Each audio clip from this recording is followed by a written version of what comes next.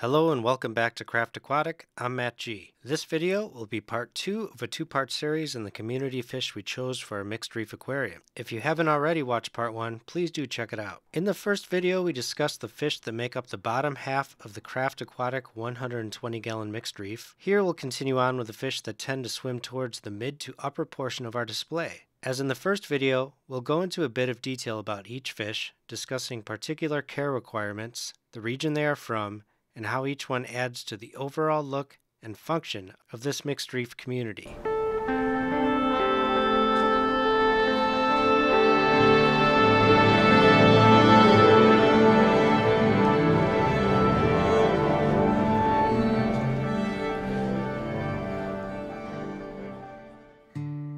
This is our canary wrasse, also known as the golden wrasse or the yellow coris wrasse. You'll find them from the Pacific to the eastern Indian Ocean. They tend to be very social swimming in and out of the reef structure, over coral branches, and they'll also spend a good amount of time in the open sections of the aquarium, adding a perfect splash of yellow to that often empty space. If you look carefully at the head of the canary wrasse, you'll see these subtle intricate green and orange stripes and patterns which are really nice visual detail. You'll want to exercise caution when introducing a full-size canary wrasse to your system. The larger they get, the more they tend to nip at smaller shrimp, snails, crabs, and feather dusters. Fortunately, they have the advantage of seeking out acro-eating flatworms, one of their favorite snacks. The canary wrasse requires a diet rich in meaty food and is considered a peaceful community fish.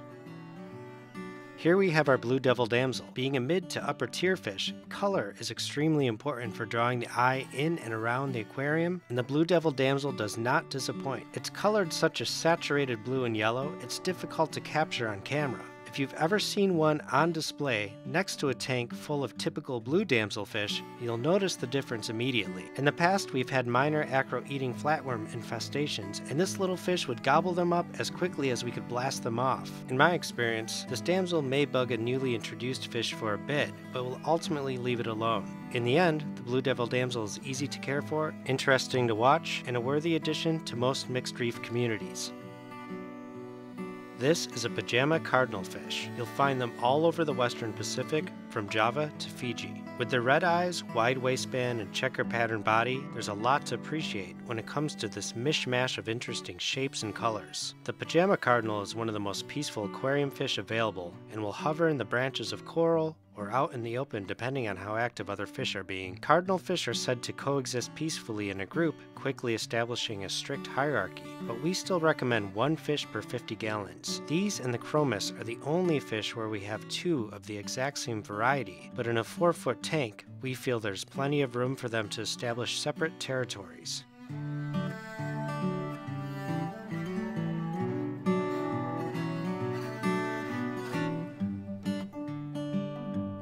Getting into one of the larger fish in this tank, here we have our Scopas tang. You'll find them in the Indo-Pacific region. The Scopas tang uses its phalangeal teeth to feed on filamentous algae throughout the aquarium. It will ignore most hair algae and bryopsis, but we'll have a solution for that coming up in our next video. Scopas tangs have been known to reach a foot in length but will most likely stay smaller in the aquarium environment. They prefer to be kept 1 per 100 gallons, though some reefers have luck introducing multiple tangs together in the very beginning of their aquarium setup. Though Scopas tangs will readily eat mysis shrimp and all kinds of frozen foods, you should strive to include regular feedings of algae-based pellets and nori on a weekly basis.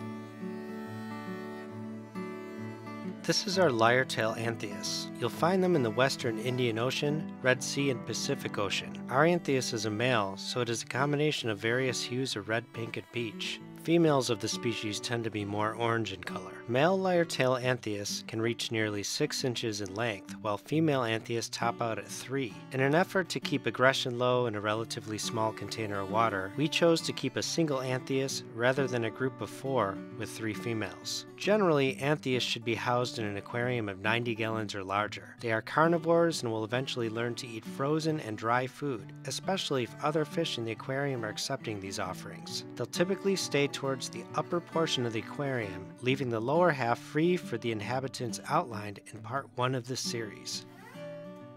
The biggest fish in our tank is our Naso tang, also called the orange spine unicorn fish. You'll find many varieties of this fish in the Indian Ocean, Red Sea, and Pacific Ocean. Some of these tangs can reach a foot and a half long, so be sure your tank is big enough before purchasing a juvenile. The Naso tang will stay very active throughout the day and is a surprisingly precise swimmer for being such a big fish. If you have a tank under 8 feet long, make sure your main rock structure is placed in a way that the fish can swim all the way around it in an unbroken pattern. This will effectively double the usable swimming area area in your 4 to 6 foot aquarium. Our Naso Tang seems to know exactly when food will drop into the feeding ring throughout the day and does a good job of spreading it around for the other fish while he's taking his fair share. Naso tanks make excellent community fish for the upper portion of your reef aquarium.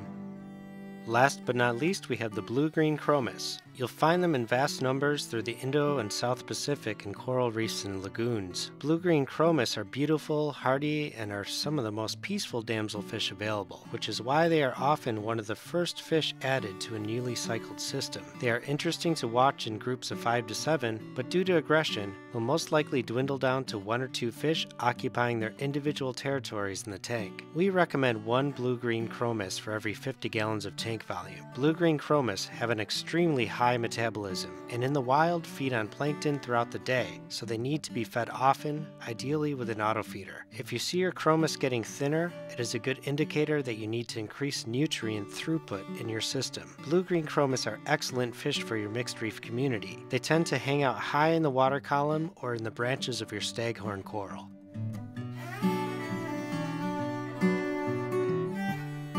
As we hope you can see, every one of these top-dwelling fish has their own specific role, preferred way of moving through the upper half of the aquarium, and relationship with each other. They tend not to step on each other's fins, and complement one another in the way that the larger the fish is in our system, the less aggressive it tends to be. We were able to mitigate bad chemistry between various species by only adding one of each specific type of fish, and introducing them in a way where less aggressive fish were added first, followed by progressively more territorial species. Though some of the upper tier fish in our tank serve a specific role, many of them have been added for the splash of color, interest factor they add to the display, and their ability to generate a significant amount of nutrients, keeping nitrates and phosphates at optimal levels in a system full of filter feeding coral, microfauna, and invertebrates. We hope this and our previous video give you a bit to think about when it comes to adding fish to your mixed reef system. If you haven't already, we hope that you are able to build a robust, colorful, and interactive community of fish that get along and complement each other in a variety of levels. We'd love to hear your ideas about when and how to add fish to a mixed reef system and what you feel are the most important factors leading to a functional and peaceful community of fish. We have a whole bunch of videos coming, so please do subscribe to Craft Aquatic if you'd like to see more like this one. As always, thank you for watching.